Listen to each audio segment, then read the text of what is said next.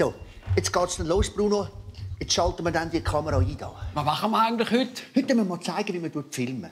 Weißt, heute kann ja jeder Double selber filmen. Aber die meisten scheitern ja schon beim Einschalten von der Kamera. Ja, aber die Kamera, die läuft doch schon. Jetzt. Nein, nein, tun wir erst nachher einschalten. Weißt du, Bruno, das Durchschnittsalter vom Schweizer Fernsehzuschauer ist ja über 65.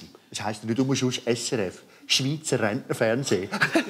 weißt du, und die Alten da, die haben es nicht so drauf mit der Technik. oder? Aber, aber die Kamera, die läuft doch schon. Nein, sie läuft nicht, Bruno. Glaub mir's, bitte. Für, für wen machen wir eigentlich den Film da? Da für die Hobby-Klonsendung, Comedy aus dem Labor. Muss man die kennen? Nein, muss man nicht. Man muss nur sterben, Bruno. Wieso machen Sie eigentlich nicht den Moderator? Frag ich mich ja schon lange. Ich hätte das Know-how dazu.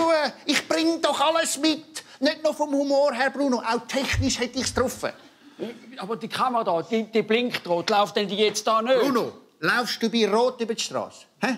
Nein, bei Grün. Bei Grün läuft So, Bruder, jetzt fangen wir an. Ich erkläre die Kamera und du bist dann der Durchschnitts-SRF-Zuschauer. Weißt du, der richtig strohdumme Hagel. Kreuzdumm. So wie es halt sind. Ja, aber das sagen Sie doch nicht vor der Kamera. Du spinnst!